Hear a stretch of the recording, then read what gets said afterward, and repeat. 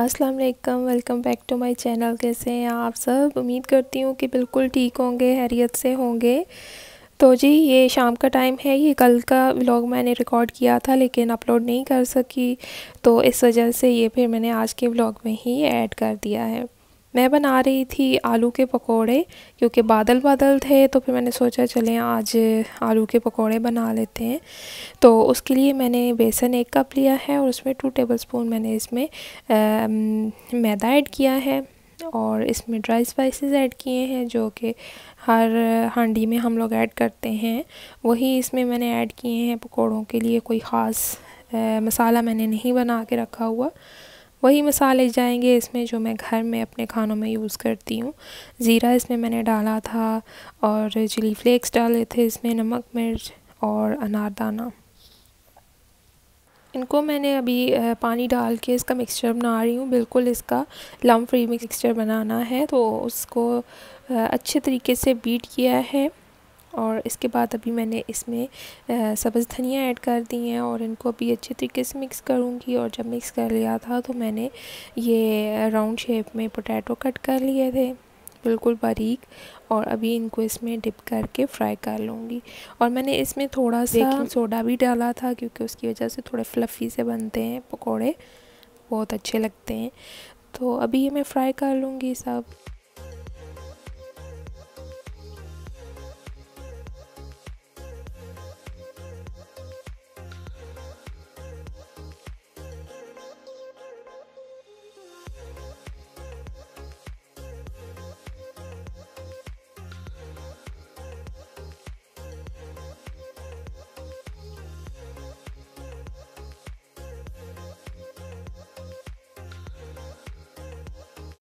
तो जी, यहाँ पे मैंने आधे पकोड़े फ्राई कर लिए हैं और देखेंगे कितने फ्लफ़ी बने हैं और बहुत मज़े के बने हैं। सॉफ़्ट भी हैं, थोड़े क्रिस्पी भी हैं और बिल्कुल अंदर से आलू गल भी चुके हैं। तो ये इस तरह से मैंने बाकी सारे भी बना लूँगी। और उसके बाद थोड़ा सा जो बेसन बच गया था, उसमें मैंने प्याज, टमाटर और थी सब्ज़ मिर्ची वगैरह, क्योंकि बेसन वेस्ट नहीं कर सकती थी, इसलिए मैंने सोचा चले अभी बाकी का बाकी का जो बेसन रह गया है, उसमें मैं प्याज, टमाटर और सब्ज़ मिर्ची कट करके ऐड कर देती हूँ। और इनको आलू के बगैर वाले पकौड़े बना लेती हूँ। तो यहाँ पे मैंने मिर्ची कट कर ली, इसमें मैंने बाकी और कोई स्पाइसेस ऐड नहीं किए क्योंकि ऑलरेडी मैंने इसमें सारी चीज़ें ऐड की हुई हैं। बस इसमें मैं प्याज और टमाटर कट करके डाल दिए थे और एक अदद सब्ज़ मिर्ची ऐड कर दी थी।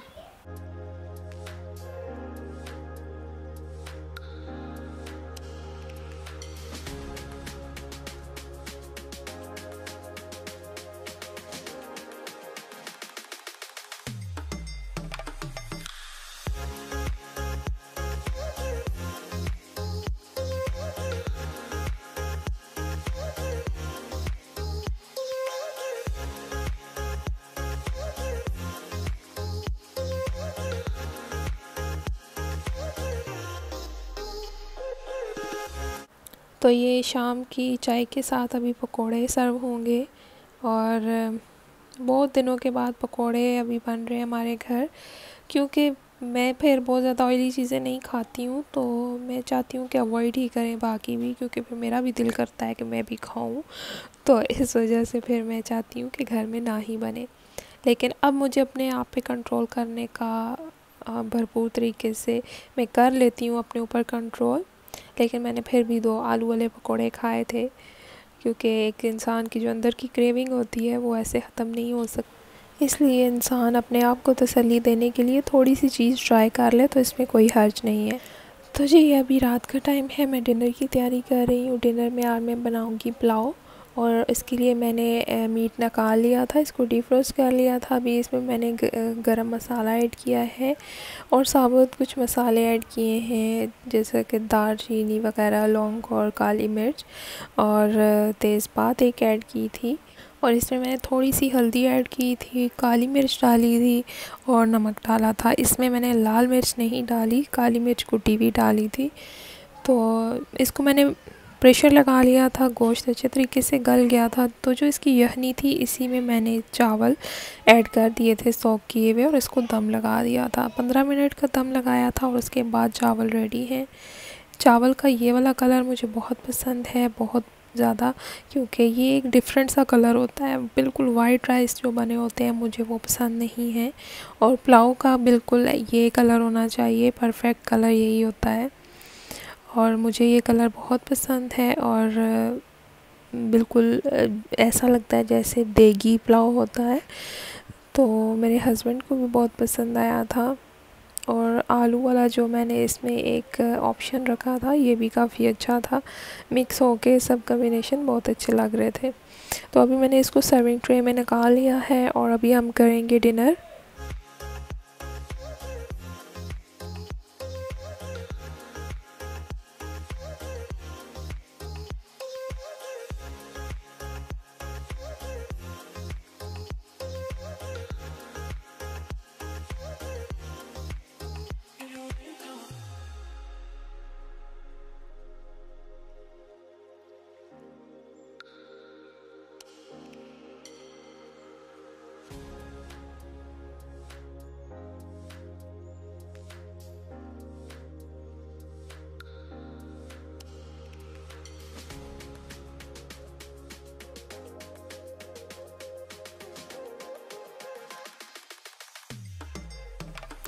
तो जी, ये नेक्स्ट डे है।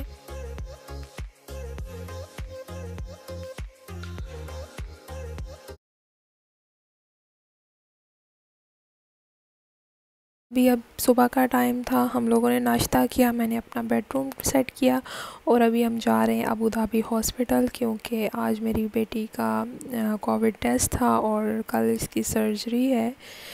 तो आप सबसे रिक्वेस्ट है कि मेरी बेटी के लिए दुआ कीजिएगा। क्योंकि उसका राइट आई का ऑपरेशन ऑलरेडी हो चुका है, अभी लेफ़्ट आई का होना है। तो अल्लाह से उम्मीद है कि इन इस आई का भी बिल्कुल अच्छे तरीके से हो जाएगा ऑपरेट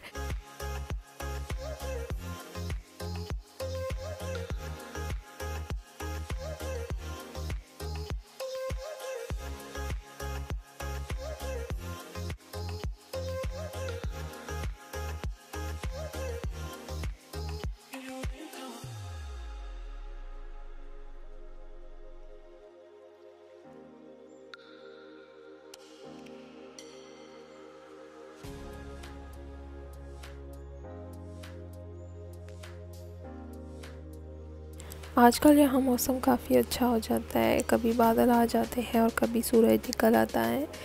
तो ये मिक्स सा मौसम मुझे बहुत अच्छा लगता है। बहुत ज़्यादा ठंड नहीं होती और बहुत ज़्यादा गर्मी भी नहीं होती।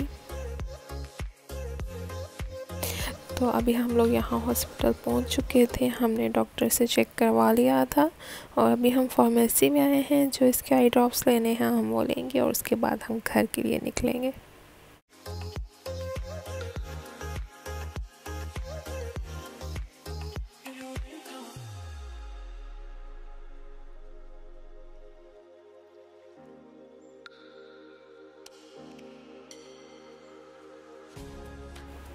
तो जी, अभी हम लोग वापस निकल आए हैं घर की तरफ़ और अबू धाबी से आने में तकरीबन दो घंटे लग ही जाते हैं।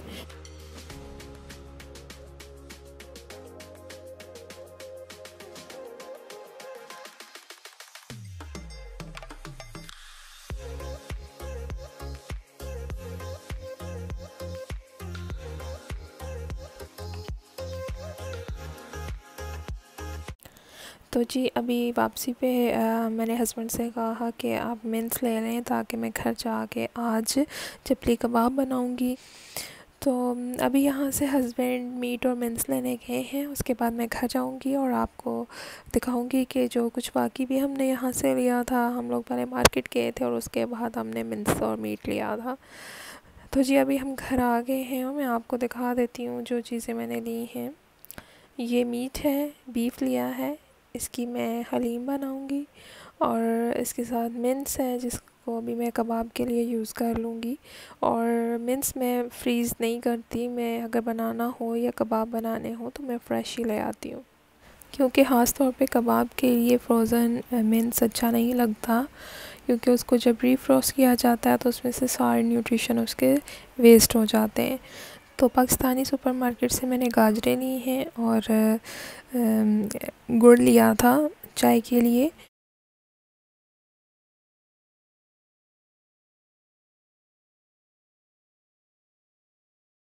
तो अभी मैं बच्चों के लिए मिल्क शेक बनाऊँगी, उसके लिए मैंने बनाना और एप्पल कट कर लिया है और अभी बच्चों को मैं मिल्क शेक बना के दूँगी क्योंकि काफ़ी टाइम हम लोगों ने बाहर गुजारा था तो बच्चों ने कुछ हाथ खाया पिया नहीं। अभी इनको मैं मिल्क शेक बना के दूँगी और उसके बाद मैं डिनर की तैयारी करूँगी।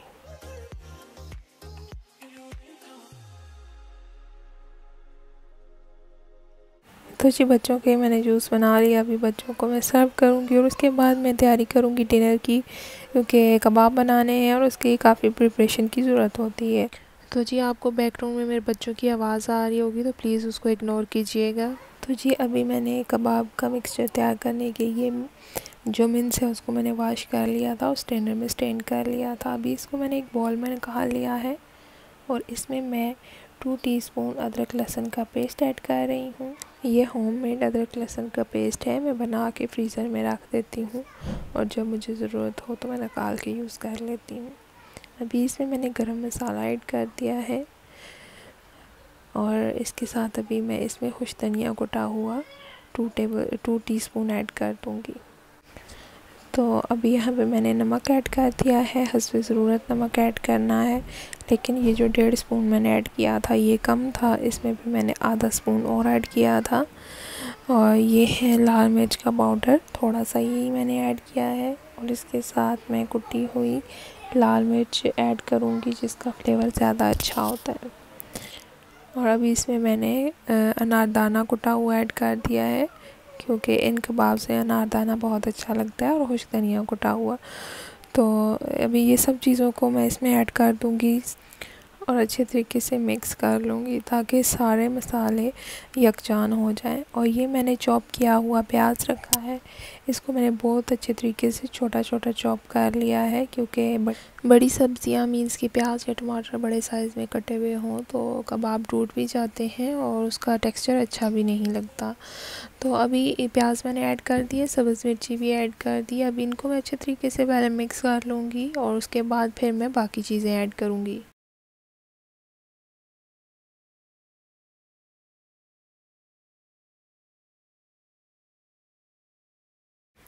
अभी मैंने सब चीज़ों को अच्छे तरीके से मिक्स कर लिया था तो अभी मैंने लास्ट में टमाटर ऐड किए हैं।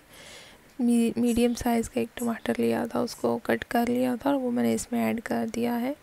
और अभी ये मैंने इसमें ढेर सारी सब्ज़ धनिया ऐड की हैं और अभी इनको अच्छे तरीके से मैं मिक्स कर लूँगी। यहाँ पे मैंने ब्लैक चने जो होते हैं बुने हुए, उनको मैंने ग्राइंड कर लिया था अच्छे तरीके से। बारीक पाउडर फॉर्म में मैं ले आई थी इनको। और अभी ये मैंने तकरीबन चार टेबल स्पून इसमें ऐड कर दिया है।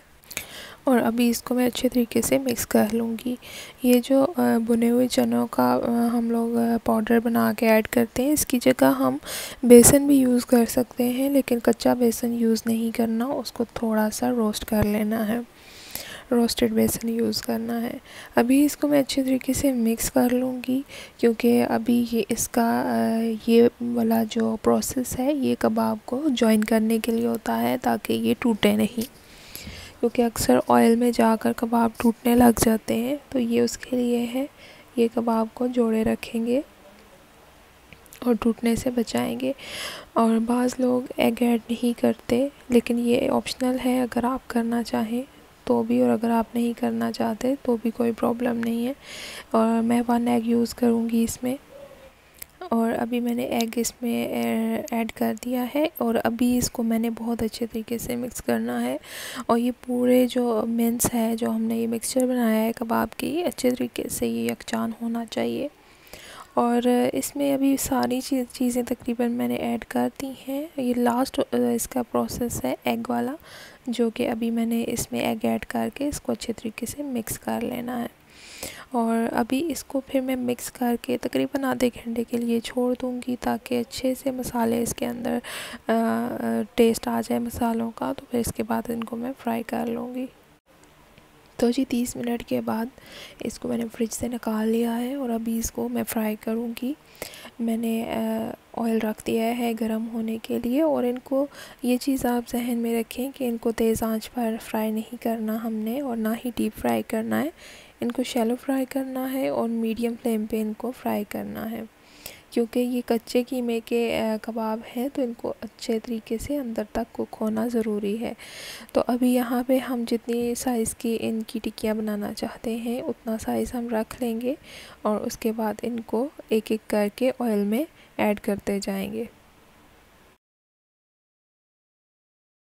यहाँ पे अभी मैं साथ साथ टिक्कियाँ बना रही हूँ और साथ साथ इनको ऑयल में मैं डाल रही हूँ और फ्लेम जो है वो मैंने मीडियम रखा है, हाई नहीं रखा, वरना वो ऊपर से कुक हो जाएँगे और अंदर से ये अनकुक रहेंगे। और अभी इनकी साइड चेंज कर लूँगी। क्योंकि अभी इसका थोड़ा सा कलर चेंज हो चुका है गोल्डन ब्राउन हो चुका है तो अभी इसकी मैं साइड चेंज कर लूँगी। इसी तरह वन बाय वन मैं सबकी साइड चेंज कर लूँगी और तकरीबन पाँच से पाँच से सात मिनट अभी हम दूसरी साइड से इसको लो फ्लेम पे मीडियम फ्लेम पे कुक करेंगे ताकि ये अच्छे तरीके से अंदर तक कुक हो जाए। और हमने दो ईद पाकिस्तान में गुजारी हैं, ईद और ईद अदा तो काफ़ी हम लोगों ने इन्जॉय किया था। कबाब बनाए थे, शामी कबाब बनाए थे और बारबेक्यू और बहुत कुछ हम लोगों ने किया था और काफ़ी इन्जॉय किया था। इस दफ़ा का जो हमारा ट्रिप रहा है पाकिस्तान में, वो बहुत ज़्यादा यादगार है और बहुत ज़्यादा हमने उसमें इन्जॉय किया है। हम लोग नारायण कागान गए थे, हमने वहाँ स्टे किया था और बहुत हमारी यादें इस दफ़ा पाकिस्तान से जुड़ी हुई हैं। और बहुत अच्छा लगा था हमें। और सबसे बड़ी बात कि हमने अपनों में वक्त गुजारा है इतना ज़्यादा और हमने कभी नहीं सोचा था कि हम लोग अभी पाकिस्तान जा रहे हैं, हम स्टक हो जाएँगे वहाँ जाके और हमें सेवन मंथ वहाँ पे गुजारने पड़ेंगे। लेकिन वो जो सेवन मंथ हमने वहाँ गुजारे हैं, उस टाइम का हमें बिल्कुल भी अंदाज़ा नहीं हुआ कि कैसे गुज़र गया है। मेरी सिस्टर की शादी भी थी उस दौरान और काफ़ी अच्छा वक्त गुज़र गया था। बहुत मज़ा आया था हमें इस बार पाकिस्तान में। तो यहाँ पे अभी मैंने चार कबाब फ्राई कर लिए हैं और अभी ये तीन और करने हैं और उसके बाद जो बाकी का मिक्सचर बच गया था वो मैंने कबाब बनाकर, टिक्कियाँ बनाकर उनको मैंने फ्रीज़र में रख दिया था कि जब भी अब चावल वगैरह बनाऊँगी तो साथ में फ्राई कर लूँगी अदरवाइज़ ऐसे ही चटनी के साथ उनको यूज़ कर लिया जाएगा। और मैं साथ साथ कबाब फ्राई कर रही थी और साथ साथ मैंने सैलड भी बना लिया था और चटनी भी बना ली थी और रोटियाँ हम लोग तंदूरी ही ले आए थे क्योंकि दिन की थकावट भी थी काफ़ी। तो फिर मैंने हस्बैंड से कहा कि रोटी भी बाहर से ले लें, मैं जस्ट जाके कबाब फ्राई कर लूँगी। तो अभी तकरीबन हमारा डिनर रेडी है, अभी कबाब भी तकरीबन फ्राई हो चुके हैं। तो जी, हमारा डिनर रेडी हो चुका है। ये रोटी है सैलड कट कर लिया था मैंने और ये पुदीने की चटनी बना ली थी और इसके साथ ये कबाब फ्राई करके मैंने रख दिए थे। इनको मैंने फॉइल में रख दिया था ताकि ये गर्म ही रहे। और इसके बाद अभी हम लोग डिनर कर लेंगे और मेरे हस्बैंड ने आज काफ़ी तारीफ़ की थी क्योंकि उनको ये कबाब काफ़ी पसंद है। तो जब मैं घर पे बनाती हूँ तो उनको तो बहुत ही अच्छा लगता है। क्योंकि वो बाहर के खानों को ज़्यादा प्रेफर नहीं करते और घर के खाने उनको पसंद हैं। तो जी, ये था मेरा आज का व्लॉग उम्मीद है कि पसंद आया होगा। अगर पसंद आया तो वीडियो को लाइक कर दीजिएगा और अगर चैनल को अभी तक सब्सक्राइब नहीं किया तो प्लीज़ सब्सक्राइब कीजिएगा। इन बहुत जल्द आपसे दोबारा मुलाकात होगी। अपना ख्याल रखिएगा और मुझे दुआ में याद रखिएगा। टेक केयर अल्लाह हाफिज़।